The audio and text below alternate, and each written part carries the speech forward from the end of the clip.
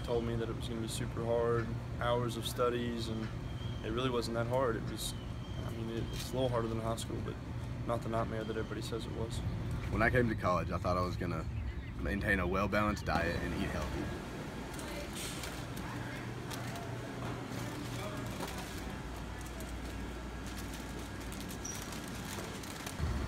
When I first came to college, I thought I'd work out all the time. But instead, I only work out 30 minutes on the treadmill for my class.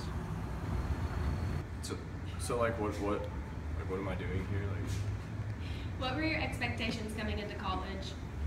um, wow. Uh, well, when I started college, I thought it was gonna be like actually fun, but then like I actually took hard college professors, and I kind of like, like my quality of life was like way up here my freshman semester, and then by like spring semester, like my quality of life was like somewhere down in here. Like I was surviving off like ramen and peanut butter and jelly sandwiches, basically. But I mean, it's cool now. I think I've got all the kinks worked out. I don't know. I mean, I managed to survive on substantially less ramen and a little bit more peanut butter and jelly. But you know, that's pretty cool. Uh, the expectations of going into college was probably being homesick and missing my hometown. But in reality, this is as much as I thought I would. So for my uh, college expectations, I expected to study a lot and be in the library most of my time and do really well in my classes so that I could get the good grades and GPAs because I'm a nursing major and I have to have a high GPA to apply for the nursing program.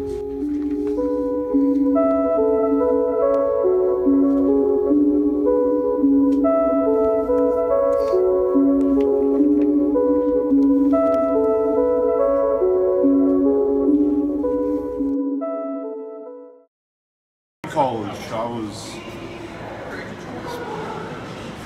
I thought I was gonna be the crap, you know. I thought I was gonna meet a lot of friends, and you know, I think it's turned out pretty well.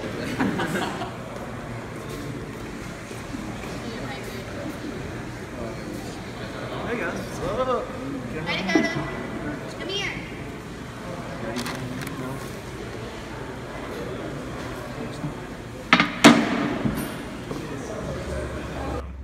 Greek life is cool, I guess. I joined a Greek organization. I joined Alpha Gamma Rho, and so far I think that's been one of my better collegiate decisions, if anything. You know, I feel like people always think that you know joining a fraternity and a sorority means you're just going to go party a lot and like get drunk all the time. Like yeah, I have fun with my friends like any other normal college individual is going to do, but like we're so involved with the community that I never would have thought that we would have been able to experience college on that level.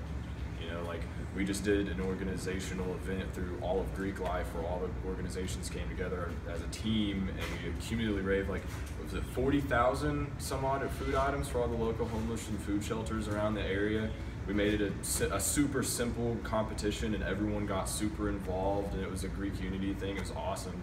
Um, I got lucky enough to where I was on, I got to be paired up with some really great organizations. We ended up winning a dance battle, which for some reason is like important. I haven't really figured out why it's important. I just had to had to dance. I mean, it's been a really good decision. I have friends all over campus, all across different organizations. Like, I feel like people also think that if you're in a fraternity, like you have to only hang out with your fraternity. Like, for some reason, you're not allowed to be friends with all the organ- other organizations on campus, and like that's not true at all. Like through our IFC board, even though it's you know kind of a hassle to deal with like a student government, it's so nice to be able to like talk to other people that are all kind of on the same page and be able to make a difference for your school because it's not something that like the school is running. We're actually collectively able to make decisions for ourselves and I guess be adults and train to be you know the leaders of America or whatever.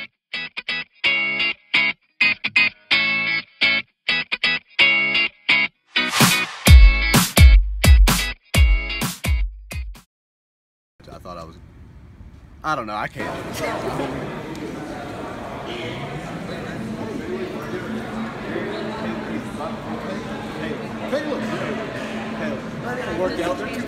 What are, are we saying anything or are we standing? Hold up our sign. Yee yee yee.